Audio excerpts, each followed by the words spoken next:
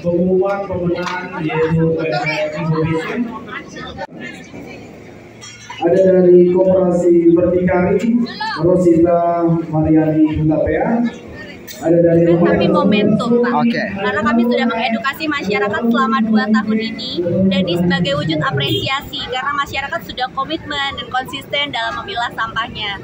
Sehingga ini adalah suatu momentum untuk kita manfaatkan bersama-sama sebagai suatu ucapan syukur. Masyarakat kita sudah mau mulai pilah sampah. Kalau eh, selanjutnya mereka sudah terbiasa mengubah kebiasaannya yang sebelumnya buang begitu saja atau bahkan tidak mengelola sekarang sudah mulai pilah sampah. Sampahnya mereka sendiri yang mendapatkan manfaatnya. Ini sampahnya eh, kalau misalnya dibilang harganya lebih murah tapi apakah ada sembako yang lebih murah? Dari sini saya yakin nggak ada. Ya jadi yang paling diuntungkan dalam kegiatan ini yang paling kita ingin mendapatkan manfaat dari pengelolaan sampah ini adalah masyarakat sendiri Pak. Soal apakah sembako murah ini setiap hari ada? Ya, sekali ini adalah momentum. Tapi setiap hari Bank Sampah Tarhilala menerima sampah dari masyarakat, sampah yang sudah terpilah itu bisa dikumpulkan dan seperti yang disampaikan oleh Pak Bupati Tarhilala ya, ngumpulin sampah yang selama ini nggak dapat apa-apa, sampahnya dibuang begitu saja. Tapi karena sudah memilah sampah, Tarhilala bisa nambah buat beli minyak, bisa beli garam, bisa beli cabai. Tarhilala itu adalah eh, konsep yang kita usung tuh Tar- Tarhilala mengubah sesuatu yang tidak bernilai menjadi bernilai. Oh, Eh, informasi di lapangan Pak, eh, Bu. nama-nama yang disebutkan tadi? Atau mungkin ada yang mewakili? Boleh maju ke depan.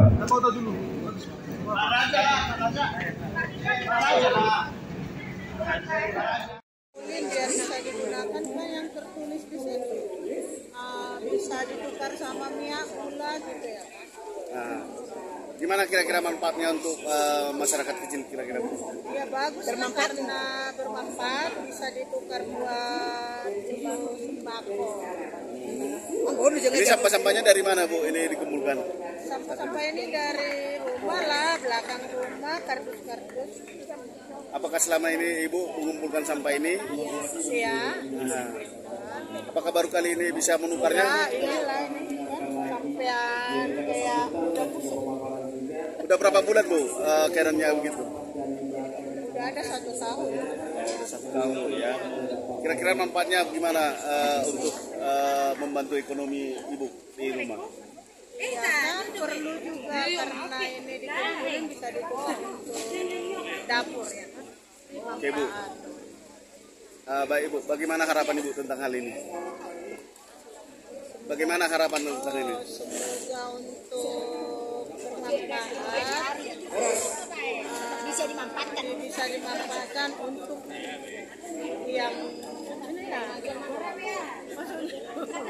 bukan kami dulu iya untuk membantu belanja di rumah karena kita perlu kumpulin sampah Berapa per kilonya berapa Bu? Eh, sampahnya ini berapa per kilo kira-kira bisa dijabarkan? belum ada ini di kilo bisa-bisa nanti ini kurasa ada 40 kilo lah Ah.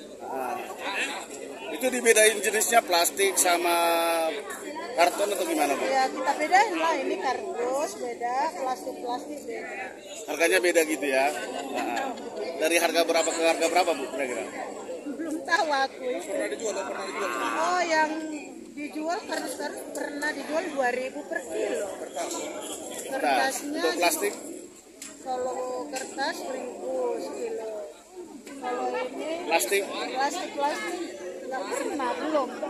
Tapi yang kayak gini gini ya 1000 juga sekilo. apakah harganya sesuai dengan sembako yang ditukar atau gimana Bu? Kira-kira? Sembako hari ini Iya, sesuai nggak harga kalau dia dijual biasa sama eh, ditukar sembako? Kira-kira sesuai nggak kira-kira Bu menurut Ibu? Ya kita lihat dulu nanti kan ini belum tahu harganya berapa semua. Ya kan ini kan nanti 10 kilo 15 berapa sekilo ini kan kita belum lihat. Taruhlah ini dulu 20 kilo satu ikat 20 ribu ya kan. Berapa itu minyak-minyaknya nanti?